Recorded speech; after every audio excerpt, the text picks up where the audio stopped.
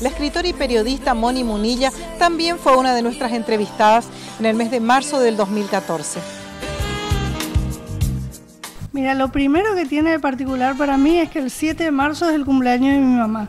Así que siempre un día previo a lo que es el Día de la Mujer, un día que he vivido siempre con mucho respeto, con mucha expectativa y cada vez más eh, impresionada de lo que significa festejar este día.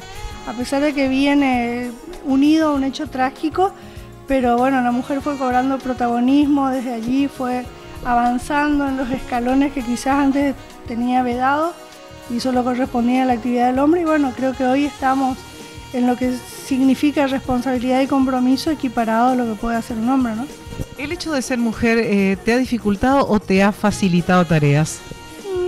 Me pongo a pensar te diría que ni uno ni otro, nunca me lo planteé como el hecho de por ser mujer tengo que o por ser mujer no tengo que.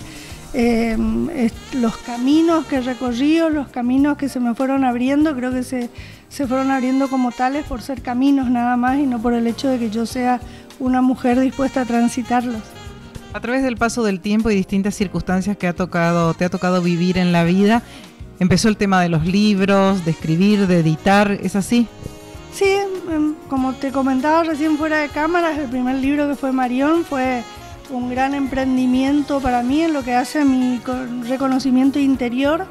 Venía de pasar un hecho que, para el cual no estaba preparada y esto fue como un, un empujón, como un envión al vacío a ver qué pasaba, este, en, qué, en qué terminaba mi poesía y que nunca lo había publicado, nunca lo había editado más allá de las páginas del diario El Litoral.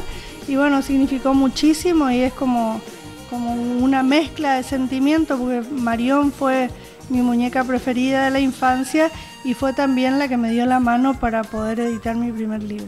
¿Cuántos hijos, Moni? ¿Cuántos hijos me refiero a hijos literarios? y los estoy contando así de reojo, son siete, eh, cinco libros de propia autoría y dos eh, compartidos, uno de cuentos entre autores correntinos y valencianos, gracias a un emprendimiento de Marilí Morales Segovia, y el otro, biografías de mujeres que se llama Mujeres que hicieron patria, que llevo guardado en mi corazón porque escribí sobre Sara Velarde Gauna, que fue la señora que me precedió en el diario El Litoral.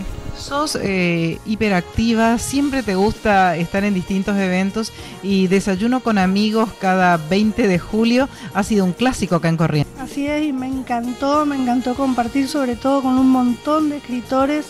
Eh, fue una tarea bellísima que cumplimos creo que en, en siete ediciones. Una de ellas correspondió a a un emprendimiento que se llamó Libro Libre, que nunca lo voy a olvidar porque se juntaron más de 300 libros que gratuitamente después se repartieron entre los invitados y en esa edición justamente el, acta de nuestro desayuno la escribió y la firmó Florencio Godoy Cruz, un queridísimo amigo.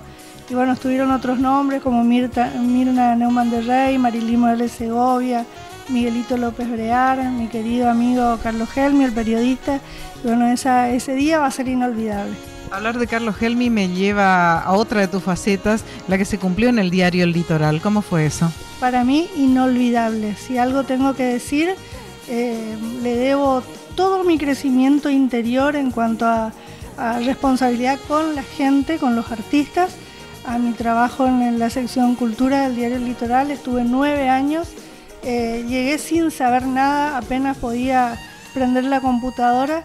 Siempre creía que sabía mucho del ámbito cultural porque sabía más o menos algo de literatura, pero no, allí te puedo asegurar que aprendí todo y todo lo que aprendí lo debo al empuje que puse de mi parte, pero también ese empuje no hubiese sido nada si no hubiese contado con mis compañeros y por supuesto con Carlos Gen. Eh, vos hablas de crecimiento, de, empuje, eh, todo eso seguramente se traslada a la Moni esposa y Moni mamá y Moni abuela. Así es, eh, a veces cuesta eh, contener o contemplar desde afuera todo lo que uno está pasando, ¿no? Eh, si tuviera que decirte quiénes son mis sostenes en este momento, fundamentales, mi esposo, que le debo muchísimo de todo lo que he cambiado en este tiempo, de todo lo que él supo valorar en mí, supo hacer que yo también lo valore. se llama Duda Sampaio y quiero nombrarlo. Por supuesto que a mis hijos, que son mis muletas, de todos los días, con las buenas y con las malas, porque una familia se arma así, con lo bueno y con lo malo, pero sigue siendo una familia. ¿Y los nietos? Oh, los nietos capítulo aparte. Es un amor que es difícil de, de explicar con palabras, que se lo vive en el día a día, que se lo va sintiendo y acrecentando permanentemente. Tengo tres nietos que son Luisana, Martina, hijas de mi hijo Wally y Milagros, y Santino, que es el hijo de mi hija Lulú y de Pato. Y ahora en camino creo que viene Milo, el nombre todavía no está definido, pero ahí está Milo por nacer.